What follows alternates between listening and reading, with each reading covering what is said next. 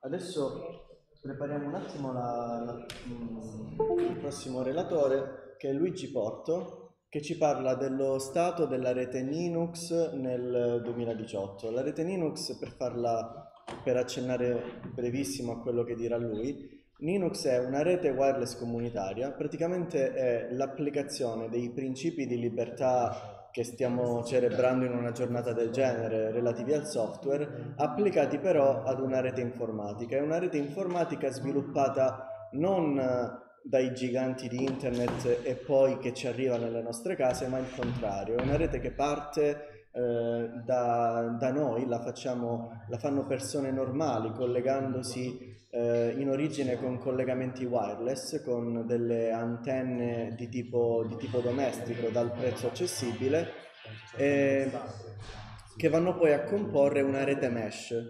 Eh, una rete mesh è una rete che eh, non ha una sola strada per arrivare in un determinato punto, ma è un'interconnessione di, eh, di più collegamenti ridondanti tra di loro che visti dall'alto vanno a formare una ragnatela. Linux è una rete mesh eh, sviluppata da, eh, da, una comunità che è appunto la community Linux. A Cosenza Linux è presente dal 2012 ed ha all'incirca una eh, ventina di nodi nel momento topico ehm, sparsi per tutta Cosenza e, e tutta Rende. Quindi a livello di copertura copriamo tutta l'area di Cosenza e di Rende. Quello? Sì, aspetta, aspetta, aspetta, aspetta. No, come non leva questa cosa.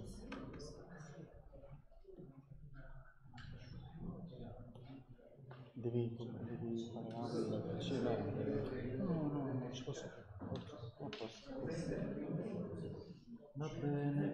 Allora, ma tu cosa mi dici? Io termino. Quindi,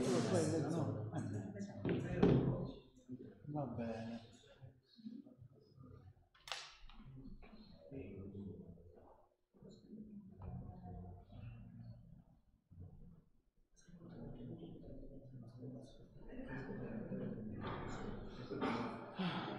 Allora, come diceva Stefano, allora, mi presento, sono Luigi Porto, sono un membro attivo della community cosentina Linux e vorrei fare un momentino il punto della situazione su come si è evoluta negli ultimi anni la rete, non tanto su Cosenza, ma ah, in Italia. In Italia. Allora, cos'è innanzitutto una rete, una rete wireless, una, una community network? Ehm, quello che dobbiamo ben tenere in mente è, dobbiamo vedere, la rete ora noi la, la immaginiamo come eh, il singolo cavo che tra computer si noi dobbiamo immaginare tutto questo in etere, cioè praticamente collegabile unicamente senza fili. Ora, come un momentino vediamo dalle slide, la wireless community network rispetto a un provider. Parte tutto da basso, sono reti mantenute da persone comuni, da noi, da appassionati. Non c'è un proprietario dell'infrastruttura, ogni nodo, questa è una rete che si va a creare nodo a nodo, una persona, un nodo, non c'è un singolo proprietario dell'infrastruttura, ehm, non c'è un operatore dietro, quindi eh, diciamo che il funzionamento della rete è a discrezione del, della manutenzione e di come il, il proprietario del nodo cura il proprio nodo. Quindi, come diceva Stefano, la caratteristica principale di Linux è la mesh, la rete a maglia. Qua abbiamo una piccola dimostrazione di come funziona una rete a maglia. Quindi cosa succede? Succede che se, abbiamo, se questo nostro nodo, se noi siamo collegati a più punti, a più, eh, più alt- ad altri utenti, ad altri nodi, eh, con determinati protocolli o comunque con determinati automatismi del software di gestione, eh, il nostro router, perché ci sarà un router dietro tutto questo, capirà che eh, qualcosa non va sul link predisposto al collegamento e può rigirare la propria, eh, la propria connettività verso un altro nodo che eh, ha uno stato di salute insomma funzionante.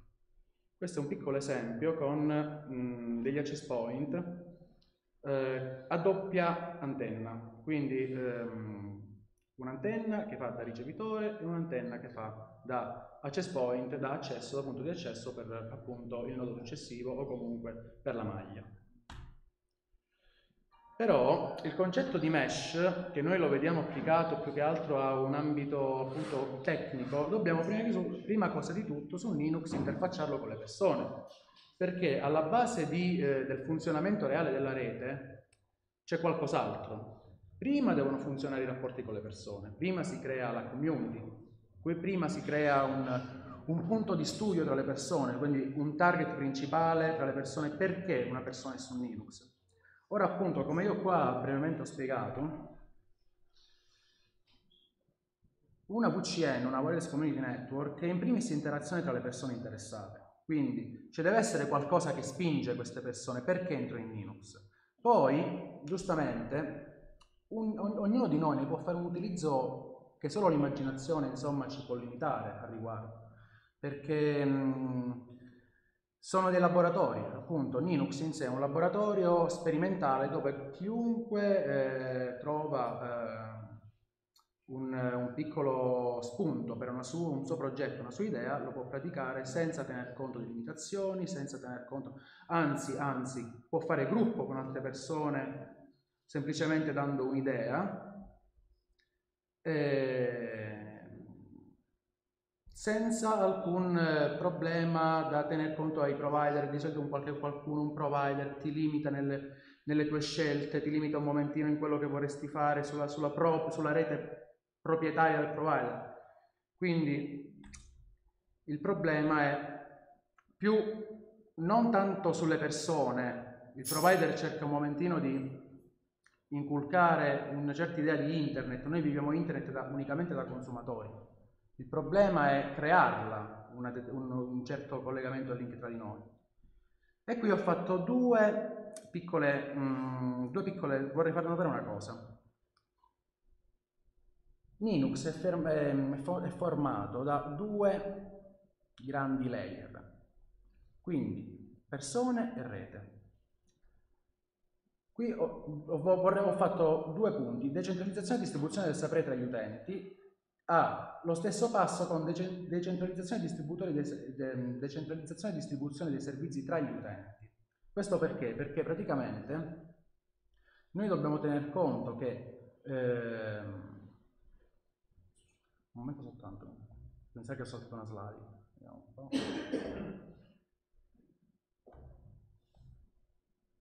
Sì, ho saltato una slide. No. Cosa? Non fa niente. Ok. E allora dobbiamo saltare un momentino. Cos'è Linux in sé?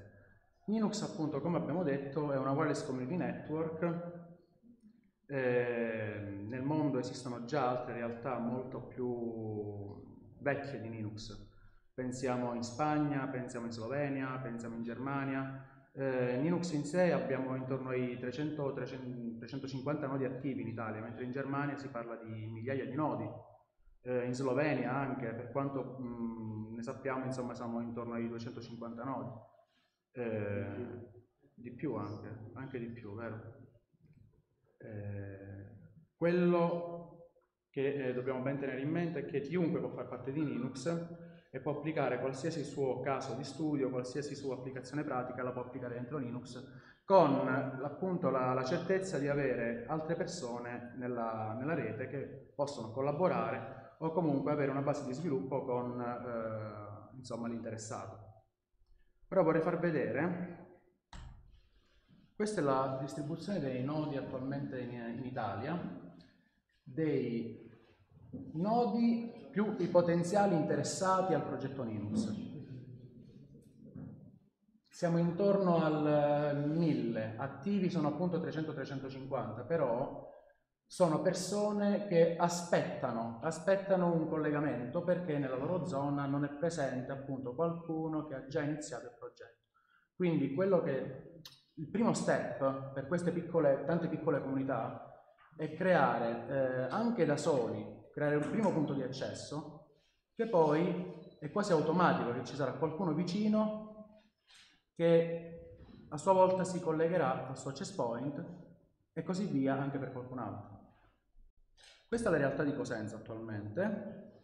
Non so se ok, si vede bene. Le linee gialle, verdi gialle sono i punti, sono i collegamenti esistenti tra noi nodi. Quindi in qualche modo noi cerchiamo eh, innanzitutto di ridondare, di collegarci non solo a una persona, ma a collegarci su più nodi. Questo perché?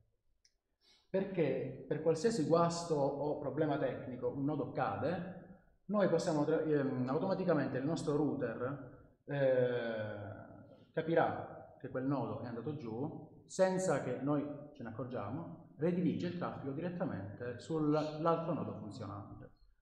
Questa appunto è l'architettura mesh, quella che abbiamo visto prima in quel, in quel disegno, in quella, in quella GIF, la vediamo applicata anche appunto su molto... No, naturalmente, ad esempio, questo nodo terminante naturalmente non si collega più a nessuno giù, però lui comunque fa da access point per qualcun altro che si, in futuro si collegherà, sempre scendendo verso sud, lì abbiamo Borgo Partenone, mi pare che ho Vincenzo, qui c'è mi pare che abbiamo Rovito, alla Rovito e poi abbiamo la parte sud di, di Cosenza, Rogliano, e lì ancora è una, una situazione dormiente, però vedendo la mappa qualcuno può appunto comprendere. Ecco, qui abbiamo lo zoom su Cosenza, questo è il mio nodo, eh, ci colleghiamo con queste antenne qui. Noi creiamo appunto più mh, accessi possibili per avere la ridondanza automatica. Questo è il nodo di Stefano, Stefanaus questo è verde binario, questo è il nodo di verde binario e questo è il, mio, è il mio nodo, con cui io sono infatti molto basso come palazzo, sono, sono basso come palazzo e punto direttamente a creare un accesso omnidirezionale con una, una scheda particolare, una scheda che si chiama una Alix con uh, doppia, doppia, radio a 245 GHz. Però uso appunto la, la padella, la, la, la Ubiquiti come dorsale di collegamento su, vediamo se possiamo tornare indietro, sul mio SPIG che è un po' il distributore attualmente su Cosenza assieme ad EcoCasa del segnale wifi. Ecco qua, questo qui è il router, il ground router. Quindi mentre le antenne fanno, non fanno altro che trasporto pacchetti, il router eh, eh, comprende e insieme agli altri router eh, crea, una, crea una, una si, chiamano, si chiamano tabelle di rotte. Praticamente lui, il router, comprende chi è attivo, chi non è attivo e a seconda di chi è attivo lui decide dove far passare eh, il tuo segnale, insomma il tuo, il tuo transito di pacchetto e automaticamente in caso di caduta subito redirige il traffico in modo automatico. Quindi questa è la parte intelligente dell'infrastruttura ed è distribuita tra i vari nodi. Noi per, um, per comodità ormai usiamo OpenVRT, però nessuno ci vieta di usare qualsiasi device, anche un computer, anche un vecchissimo computer, eh, come smistatore come parte intelligente della rete, appunto perché noi usiamo un protocollo di rete, un protocollo di routing dinamico, proprio perché eh, è l'unico che può capire chi si è rotto e chi invece è in vita nella rete. Cosa c'è in Linux? Allora, Linux in realtà, come ho detto prima, è un contenitore, infrastruttura. Noi possiamo riempirlo come, lo, come vogliamo, di tutto quello che vogliamo. Eh, un un primo esempio per quello che conosciamo appunto noi è eh, il VoIP, il file sharing, chat, eh, io mi occupo anche di sensoristica ambientale, quindi eh, immaginiamo il caso in cui noi abbiamo una rete di sensori su Cosenza, una rete di 60, sempre 60 sensori. Cade il nodo in cui un tot sensori sono agganciati, che succede? Perdiamo tutti i dati della sensoristica. Invece noi dobbiamo fare in modo che questi dati in qualche modo devono raggiungere appunto un collettore, un server. Se i sensori eh, sanno che c'è qualcun altro in vita, allora cosa fanno? Se c'è un, un nodo, un ulteriore nodo con lo stesso SID, ad esempio, di che è in vita, allora mm, non è un problema, può, la tolleranza al fallimento del nodo è praticamente automatica. È automatica perché viene tutto gestito dagli automatismi di cui ho parlato prima, che è il protocollo di routing OLSR. Ora, il discorso è un po' storico perché dobbiamo comprendere anche Linux perché è nata. Ora, eh, Stefano infatti ha detto Linux a Cosenza c'è dal 2012, però già da molti anni prima su Roma stata, è nata la prima realtà Linux. Ehm, là c'era un'altra esigenza, un'esigenza già nasceva da eh, luoghi in cui mancava completamente la connettività mancava, ma, oltre alla connettività, anche un semplice trasferimento file, mancava eh, anche la linea telefonica. Quindi il discorso è stato più a livello infrastrutturale, creiamo la nostra rete. Con cosa? Con hardware a basso costo, perché il 2000, 2001, 2002 è stato il momento in cui le, mh, le apparecchiature wifi, da che costavano tanti soldini, insomma per un protocollo BGA, All'improvviso hanno avuto un crollo drastico economico, insomma, si, si trovavano router a già 300-200 mila lire, insomma, quindi già era fattibile avere un'infrastruttura a basso prezzo eh, con determinati firmware poi da inserire in questi router e creare appunto rete in, con, con, pochissimi soldi. Infatti, il primo, il, il primo ostacolo appunto era la non connettività se, oppure la 56K, quindi era, era difficile avere un, uh, già una prima rete di trasporto. Appena qualcuno montava già una coppia di queste antenne, vedere i 2 megabit era qualcosa di spettacolare. Quindi, ehm, con tutti i benefici del caso, poi naturalmente noi siamo stati in ADSL fino a qualche anno fa, quindi avere un upload a già 2 mega era qualcosa di incomprensibile. Poi il discorso è diverso perché non abbiamo più bisogno di eh, chissà che infrastruttura di connettività, perché comunque in qualche modo i grandi centri stanno conoscendo l'avvento dell'FTTH, della, della VDSL, insomma, eh, abbiamo a che fare con provider che in qualche modo eh, cercano di arrivare dove prima non, non si arrivava nelle zone rurali, insomma, ma c'è un altro discorso. Il provider fa sempre un certo gioco sulla densità della zona dove deve arrivare a livello di connettività. Se quella è una zona che non rende a livello economico, il provider, anche se quella zona conosce una piccola realtà industriale, non farà mai, eh, non si impegnerà mai a spendere decine di migliaia di euro per portare connettività avanzata in quel posto. Ad esempio, io ehm, ho, un, um, ho, dei clienti che sono a, a Pienolago. Pienolago, eh, qua vicino a Cosenza, vicino a Rogliano, hanno un'infrastruttura di rete che va dai 2 ai 4 megabit di banda. Però eh, tramite appunto accesso Linux naturalmente con eh, i dovuti accordi e quant'altro, si potrebbe fornire un accesso anche a 30-40 megabit, 50 megabit, insomma il problema eh, non è tanto più di struttura, ma lì è, insomma, è solamente di utilizzo. E infatti qui ho specificato una piccola cosa. Perché spendere, perché spendere decine di migliaia di euro per cablare un armadio in VDSL per avere un ritorno, sul, un ritorno su lunghissimo periodo? Perché appunto se noi abbiamo quei 3-4 edifici, naturalmente nessuno si impegnerà ad arrivare lì con un progetto privato. Però dobbiamo fare una piccola distinzione qui. Noi forse eh, stiamo confondendo, o comunque finora, per come anche forse l'ho presentata, forse male, insomma, Linux e Internet, no. Perché non facciamo confusione, Linux non è Internet, è infrastruttura. Come il provider ha la propria infrastruttura, anche Linux ha la propria infrastruttura. Quindi, quello che succede poi dentro Linux, la connettività, la connettività tra uno o più utenti a internet, usando un utente come eh, bocchettone d'uscita, come gateway, non è un problema di Linux. L'importante per Linux è l'espansione della rete.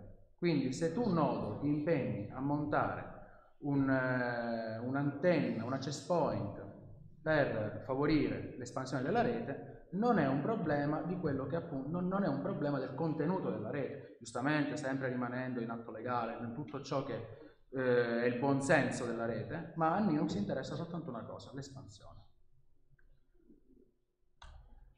Ora il discorso è che una cosa appunto è eh, lavorare o comunque far crescere Linux con l'intento del gateway, con l'intento di avere internet. Sta, questa espansione c'è stata soprattutto a Roma, perché a Roma eh, hanno conosciuto il digital divide in una certa maniera, ma Mm, non è il nostro target appunto l'espansione soltanto per internet. Sono due cose che vivono parallelamente. Eh, qui è specificato un'altra cosa. Linux non è un servizio da offrire, ma siamo noi al servizio della rete, le persone per le persone. Cioè, noi non avremo mai a che fare con un customer support, con un call center, noi viviamo delle nostre esperienze e eh, su, uh, per ogni persona, per ogni nodo che entra in Linux, noi eh, diamo la nostra esperienza, li portiamo nella costruzione dei nodi, cerchiamo di far, di, di, di far capire come essere autonomi nella risoluzione dei problemi. Eh, è un processo lungo, complicato, ma comunque gratificante, perché poi le persone nel loro piccolo poi fanno squadra per qualsiasi problema poi si va a creare nella rete soprattutto nel momento in cui un nodo deve fare il cosiddetto troubleshooting, cioè praticamente non mi funziona il router, non mi funziona l'antenna, naturalmente ci saremo sempre un gruppo di persone che già sono in Linux che daranno una mano al riguardo, poi quella persona imparerà pian piano a comprendere piccoli problemi, piccole cose, e da lì anche lui sarà capace di fare troubleshooting insieme a un'altra persona che entrerà nella rete e man mano questo è il concetto di distribuzione della conoscenza. Questa è la cosa fondamentale che lega Linux in un ambito di open. Ora il discorso lo dobbiamo anche far comprendere una cosa. Qui ho specificato che il provider non è una comunità attiva, quindi il discorso è che ehm, un provider mai eh, farà, dirà a una persona vai da qualcuno ad aggiustare l'internet di qualcuno. È il provider che si fa sempre capo dei propri problemi e con tutte le burocrazie del caso. Noi invece mh, mm, vorremmo far capire una cosa, che eh, dobbiamo scostarci dall'idea del provider, dall'idea del tutto pronto. Noi dovremmo costruire da noi una rete che eh, per renderla affidabile, per, per, renderla funzionale, per renderla piena di contenuti, dobbiamo collaborare tra noi. Quindi il discorso appunto del guest, della persona che si affida a uh, qualcuno che risolve i problemi, dobbiamo eliminarlo quasi questo, questo preconcetto, dobbiamo comprendere più noi a collaborare, a creare, a domandare, a cercare di capire come risolvere questo problema collaborando e facendoci anche noi arte di quello che possiamo riuscire a risolvere sul nostro nodo. Insomma. Ora mi sa che sono arrivato a... Ma la, la parte di Cosenza, la rete di Cosenza, è sì. collegata con il resto d'Italia? Ecco, questa è un'altra domanda che interessa perché in realtà no, in realtà coll i, i collegamenti tra isole, Linux si forma di isole, quindi giustamente dopo... No, no, però nulla ci vieta di passare da un internet di qualcuno dei nodi per arrivare all'altro punto di Roma, ad esempio. Questo non ce lo vieta nessuno. Quindi, esatto, però il discorso è ehm, pian piano, andando verso sud e andando verso nord, eh, a livello di connettività wifi, nodo dopo nodo, potremmo anche tranquillamente arrivare a, Roma e non usare più ad esempio i tunnel VPN che noi potremmo usare per raggiungere ad esempio Roma. Quindi è un discorso sempre layer fisico. Quindi nel momento in cui noi abbiamo una rete che pian piano, nodo dopo nodo, va sulla costa ad esempio e arriva fino a Roma, lì noi eh, siamo collegati a Roma. Attualmente l'uso è della VPN, noi facciamo un punto di collegamento sempre comunque passando da provider. Eh, per ora. Per ora. domanda, volendo aderire al progetto, che costo- a che costo si va incontro tramite mine? Lasciamo stare Allora, il router, router eh. Sì, perché alla fine noi usiamo router TP-Link con OpenWRT montando su, su questi router un determinato firmware che consente appunto l'installazione di pacchetti tra Sì, cui no, 30-35 euro un router, un TP-Link 1043. ma è l'antenna così. L'antenna, l'antenna è la parte che neanche costa più di tanto perché noi abbiamo antenne che poi a seconda di dove devono arrivare, i chilometri che devono macinare, si parte dai 50, 60, 70, 100 euro a seconda dell'antenna ad esempio. Ad esempio. Eh, volendo raggiungere distanze abbastanza lunghe, ad esempio la grid, la grid tocca anche i 15 km. nuovo. Sì, Non fa niente, è opera. Sto scherzando, ovviamente non poteva. Ehm, ad esempio la grid raggiunge i 15 km e la possiamo trovare intorno ai 50-60 euro, 60-70 euro, sì.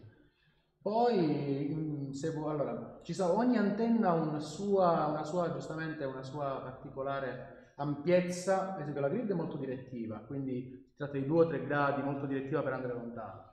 Mentre poi abbiamo le nanostation, questi cubetti qui sotto, sotto- che è abbastanza ampia, quindi serve più come punto di accesso, sono 40-45 gradi di ampiezza access point, arriva intorno ai 5-6 km lei come eh, segnale. E poi abbiamo un altro tipo di antenne direttive che sono le... eh, la nanostation viene intorno ai 90 euro, 90-100 euro, quindi è già una- un'antenna con più funzionalità rispetto a una grid. perché- E poi abbiamo le, le padelle, le, le nano beam, che anche loro mh, raggiungono i 15-16 km e la caratteristica che differenzia la grid dalla, dalla nano è una è MIMO, l'altra è SISO, cioè una ha un doppio canale di trasmissione, questa invece ha un singolo canale di trasmissione.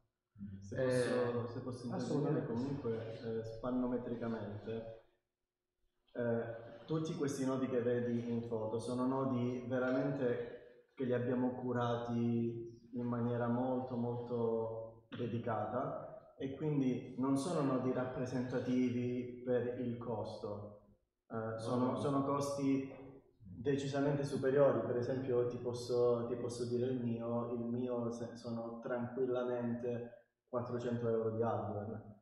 In genere, per il nodo. Linux classico, eh, il costo si aggira tra i 200 e i 250 euro e prevede, preso tutto da zero ovviamente, Sì, se sì, riesci, sì. è tutto da zero è nuovo, se poi riesci a avere occasioni il costo varia. Ad esempio ma questo qui è un nodo a costo zero, questo è un nodo a costo zero ad esempio, materiale di risultato. eh, il nodo centrale è il materiale preso piano piano, Esatto. usato, occasioni, a costo zero. conoscenze e quindi si riesce ad azzerare il costo.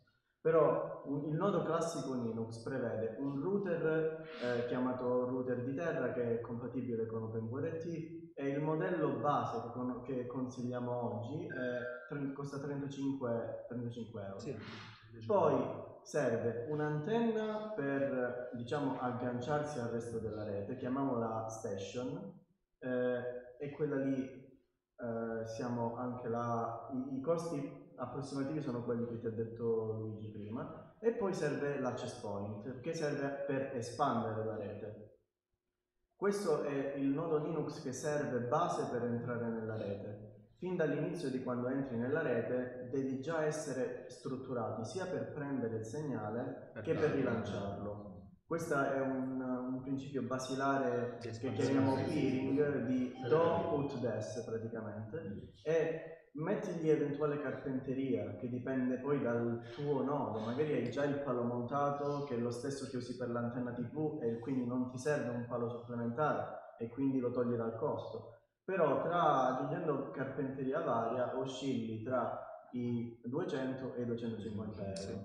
Noi abbiamo appreso sulla pelle una lezione che è cercare a tutti i costi di risparmiare su ogni singolo dispositivo anche una ventina di euro comporta problemi. tanti problemi Dopo. prima o poi e più prima che poi. Per farti un esempio spiccio, eh, andava popolarissimo tempo fa un router Linux che si chiama eh, l'841 che lo compri a Che è, 15 pro- è proprio euro. lui, infatti, è proprio lui. Questo qui, questo qui costa 15 euro, compatibilissimo con OpenWRT e tutto. Eh, ok, 20 euro in meno del 1043. Però questo qui ha una limitazione adesso che eh, chi ha un nodo Linux fatto così la percepisce perché non può aggiornare il nodo, non può migliorarlo, le prestazioni e la stabilità vanno, a- vanno giù è il fatto che questo qui ha solo 4 MB di spazio e 32 MB di memoria RAM. Il 1043 con 20 euro di più ti dà tra gli 8 e i 16 mega di RAM, eh, scusami, mega di spazio flash, li puoi considerare pochissimo, ma considera che è un sistema embedded dove i pacchetti pesano veramente pochi, pochi kilobyte, interi programmi, interi software, intere interfacce web pesano questo- questi pochi kilobyte e ha eh, tra i 64 e i 128 mega di RAM, che per un dispositivo router è tantissimo. Il processore è molto migliore, si parla di una frequenza di eh, tra 1,5 e 2 volte superiore, a 20 euro di più. Quindi aver risparmiato 20 euro prima ha poi un pochino azzoppato lo sviluppo della rete dopo, perché per esempio è nato un nuovo protocollo di routing che si chiama OLSR 2 e quando tu vuoi passare in una rete già funzionante da un protocollo di routing ad un altro, c'è una fase di intermezzo dove per forza devi farli girare tutti e due contemporaneamente. Invece con questi routerini hai una coperta cortissima, se togli, se tiri da una parte immediatamente si scopre dall'altro. E quindi stessa cosa per gli access point. Tra la nanostation che costa 60, eh, 60 Euro. station sono 90, sì, intorno ai 90. più o meno. ad- adesso sono aumentati un po' di costo, ma tra una, c'è una nanostation e una rocket, se ti va bene c'è una differenza di 60 euro. Ma la rocket ha una flessibilità in termini di antenna, l'antenna si può sostituire, mentre nella nanostation è integrata. Hai una resistenza alle interferenze per via del corpo metallico esterno molto molto superiore, cosa che poi quando cerchi di fare reti che si estendono su interi nuclei cittadini la, la paghi. Quindi sempre tornando alla spannometria di prima, 200 euro al- all'ingresso di puro materiale hardware, ovviamente Linux non ha costi, non ha abbonamenti Sì, eccetera. materiale proprio del sono- nodo, sono rimane, pensione rimane a nodo. Giusto. Comunque io, io ho conosciuto la rete Linux quando tre anni fa si è fatto tutto in Linux, ecco, cos'è? Sì. E, e mi sembra che c'è un modo per sapere se sei raggiunto da questa rete. Mi sembra che io all'epoca ho visto, messo, insomma, ma c'è un modo, cioè tu dici, Sì, io, sulla- io faccio l'installazione, so se sono raggiunto o meno. Allora, naturalmente... Verificare il mio, il mio compito, perché io lo faccio appunto quando proprio Ah, ah, ecco, ecco. Se non ecco. Mi sa che nessuno, il mappa non eh, come se io fermo. Eh sì, no, no, poi- Eh, naturalmente-. Eh, naturalmente noi dobbiamo capire anche sulla mappa dove siamo. Purtroppo il map server. Linux è, è un, è un sito, è, è questo sito che racchiude eh, tutti i nodi, ha- distribuisce tutti i nodi su una mappa dove Però sono possiamo vedere, io ho, ho i nodi su il map Linux ultimamente ha dei problemi di, di proprio software e una funzionalità interessantissima eh, che sarebbe quella di disegnare il raggio di azione dell'antenna non la supporta. Per poter sapere effettivamente eh, se tu sei coperto o hai un'antenna e provi direttamente da un punto di vista invece della mappa che cosa dovresti fare? dovresti eh, andare sul map server di Linux vedere che antenna monta quel nodo è una informazione che sta nella scheda descrittiva del nodo. Saputa l'antenna sai il raggio di copertura perché il raggio di copertura dipende dalle caratteristiche tecniche. Eh, vedi dalle foto dove è puntata e poi se usi per esempio Google Earth Google Earth supporta, la- eh, supporta la- il disegno del raggio di copertura Se gli dai un angolo, lui è in grado di disegnarti il raggio di copertura, però purtroppo non è un lavoro comodo da interfaccia grafica, ma è una cosa che richiede delle deduzioni. C'è pure Ubiquiti su, su Anche, anche un'altra alternativa è Airlink di Ubiquiti, dove è- ha già tutte le antenne caricate, quelle dell'Ubiquiti, quindi tu eh, metti il punto, metti l'antenna, la punti dove sai che quell'antenna è puntata, lo puoi vedere dalle foto della gallery Linux e ti disegna il raggio di copertura. Puoi anche selezionare la potenza di entrata e uscita in maniera tale che tu hai proprio la distanza coperta dall'antenna. Sarebbe bello avere tutte queste funzionalità direttamente nel software eh, Linux, però al momento ci sono tre progetti map server, nessuno dei quali è finito. Vediamo se abbiamo... Ad esempio, questa è la mappa che qualche problemino ce l'ha, ma possiamo vederlo lo stesso. Ad esempio, qual era il nodo interessato? Fino qua, sono sulla sinistra, uno di questi due, no, no, devi andare verso destra, se tu- È la- Ci sei vicino col mouse, guarda, uno dei due, guarda un po' come si chiama. Come si chiama il nodo? Con Pino 4, su Orto Matera, guarda, su, leggermente più in su dei Ecco. spettatori di prima. Sta arrivando. Ecco. Ecco, 4.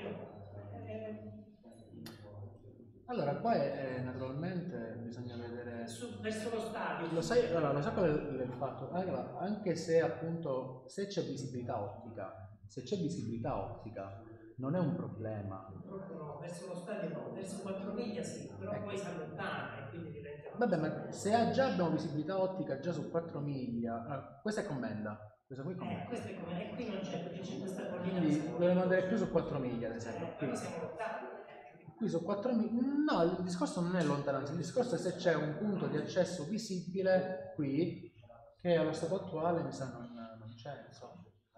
Quindi è, è un discorso che o si attiva qualcuno in 4 miglia e allora di sponda noi possiamo Eh, giocare. aspettando. Assolutamente. No, no, ma il discorso è infatti questo, il discorso è comunque sono registrati ma non, detto che c'è potenziali infatti ci si No, in che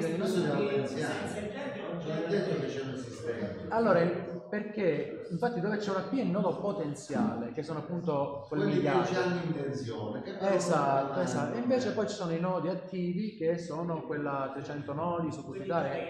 sono, sono non ho Questi capito. sì, eh, sì, sì, che comunque su Cosenza sono già una, sono una ventina, insomma, sono nell'ordine di 18-20. Per questo poi il discorso è anche se ho un amico interessato o quant'altro ed è in zona 4 miglia, perché non coinvolgere anche lui? Quindi il discorso poi da cosa nasce cosa, con qualche amico, con qualcuno, ehm, tutti e due Ho cooperare. fatto questo punto, però a quanto pare È perché non c'è ancora nessuno su 4 miglia, questo Tieni è il presente che c'è il circolo vizioso dove eh, non sei ancora coperto, allora aspetti di essere coperto, qualcun altro aspetta di essere coperto, nessuno dei due fa il primo Esatto, passo e, esatto. e c'è questo loop, tra virgolette. Che, Che- uno- Oltre, oltre il lato sociale, ovviamente, tieni presente che è successo che a- a- a- esattamente al centro di Rogers avevamo un nodo, eh, Brodolini, che eh, ha montato le antenne preventivamente e sono state per un anno e quasi e mezzo senza nessuno collegato. Però erano, però erano già pronte. Allora uno poteva dire, ok, non rimando tra un mese e mezzo. Poi però il nodo, una volta agganciato il primo, nel giro di, nel giro di sei mesi aveva Si era 3-4 occupato. collegamenti che sono stati possibili solamente perché era già È predisposto. Però è vero che c'è questo problema di circolo vizioso. Uno dei progetti in Linux per diciamo risolvere questo circolo vizioso è strutturare Linux come una rete overlay. Che cosa significa? Significa che chiunque può entrare in Linux istantaneamente se ha una connessione ad internet. Come funziona? Il nodo viene predisposto, tu lo devi sempre montare, è un requisito per entrare, tu monti il tuo nodo, però e lo predisponi per espandere la rete. Il tuo reward, il tuo premio per aver predisposto il nodo in anticipo è l'ingresso nel resto della rete Linux attraverso una connessione VPN autoconfigurante. In questo modo tu entri in Linux direttamente. È come se si ingressa una mini isola poco- poco- poco la distante. Ma il tuo nodo è già pronto per accogliere nuovi nodi. Praticamente sfruttiamo internet come trampolino di lancio per ampliare Linux. E questo è uno dei progetti su cui la rete Linux sta lavorando, proprio perché questo che dici tu ancora non sono coperto, quindi non entro, è, è un problema reale e tangibile che molti ci fanno, ci fanno presente. Scusa, su- sulla parte alta ci sono due raggi che lo puoi passare un attimo. Come mai i due, i due nodi finali non sono collegati tra loro? I due nodi finali, questi nodi qui, Quello è il uno prossimo, sì. e due, cioè non sono collegati tra di loro? Sì. Perché poi ci sono sono collegati là, ci sono collegati Allora, sono collegati... No, allora, tutti là, quindi... Forse, forse lei dice perché, se, se è così breve, perché non si collegano tra di loro? Questo è un problema di visibilità tra nodi. Quei Qui- due nodi non si vedono, anche qui- se sono vicini, non si vedono tra di loro. Qui c'è un edificio, ci sono una serie di edifici in mezzo, c'è l'università, e questo è un nodo, il nodo di Luca, che eh, non vede il nodo ACLAB, ad esempio. Quindi eh, è normale che anche a poche centinaia di metri c'è il problema del- dell'edificio. Il wifi bisogna essere visibili. Questo è il discorso. Comunque, Ma il nodo verde senza collegamento che significa? Allora, di solito questo è un nodo, è un nodo spento, cioè eh, la mappa in real time sa chi è spento e chi è acceso, il link non c'è, altrimenti fosse acceso sarebbe il link. È rimasto segnato verde, però correttamente, non essendo un nodo collegato, tu non vedi, Non vedi link, non vedi, È non vedi link. È una questione puramente amministrativa, la mappa non supporta il passaggio, significa il nodo è attivo, cioè è stato installato Linux lì, ma in, Linux lì, Ma ma, in quel momento non è operativo perché non è raggiungibile, non ti trovi nessuna linea. Comunque Nessun vi volevo fare presente, e poi passiamo la parola a Pasquale, questa qui è una rete che è- è- i provider eh, wireless che trovate in giro, pubblicità eccetera, è una rete di quel tipo lì, ma fatta meglio, perché in genere noi nel corso del tempo abbiamo imparato ad apprezzare che per virtù di, di fretta, di necessità di, di raggiungere il cliente il prima possibile, eh, non, non ci prestano cura tecnica particolare. Però è una rete di classe enterprise, possiamo dire, per le tecnologie che usa. Per noi è stato un laboratorio sperimentale fantastico, cioè quando abbiamo cominciato a lavorare del wireless sapevamo solamente mettere la password, eh, selezionare nell'elenco e questo è di quello che sappiamo, sapevamo del wireless. Nel corso del tempo siamo riusciti a creare questo genere di, di rete qui che è operativa e funzionante. Ab- abbiamo visto di tutto, dal software fino al montaggio del palo a, a muro. All'analisi di spettro per vedere i canali liberi, Ogni a- genere- ogni genere di cosa, attività. Queste antenne le abbiamo conosciute. Solo Se vi interessa, noi continuiamo a lavorarci su questa rete. Eh, ogni martedì ci vediamo all'Unica, al centro ICT, e questo è uno dei progetti che svolgiamo. Se vi interessa lavorare praticamente in una di queste reti, eh, anche farne parte se la, la condizione logistica ve lo permette, eh, il, modo, il momento migliore per parlarne estensivamente è i martedì sera in A-Club, che includono anche la, la riunione Linux, essenzialmente. E poi, come dicevi tu, il provider arriva a 5 minuti e ti monta l'antenna. Noi siamo stati giorni sui nodi per fare appunto un puntamento fine, per rendere il link più performante, tutte queste piccole cose che il provider, insomma, Non tanto- cura, non cura. eh, infatti. Noi abbiamo, ogni nodo ha un suo particolare studio, infatti, a riguardo. Vedendo quelle foto, infatti, il tuo nodo è puntato con un palo messo a palazzo, messo in quel punto preciso perché lì i decibel di guadagno erano maggiori. Cioè, tante piccole cose che il provider non fa. Ovviamente eh, ci abbiamo messo giorni perché ah, in, in un'ora arrivi al 90% del lavoro, poi il puntamento fine. avevamo la voglia di arrivare al 10% mancante, però il 90% del lavoro di puntamento sul nodo lo si fa in maniera, in maniera rapida.